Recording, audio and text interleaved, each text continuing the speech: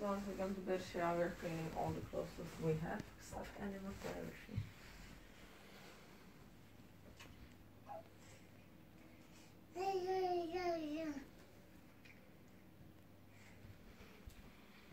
What?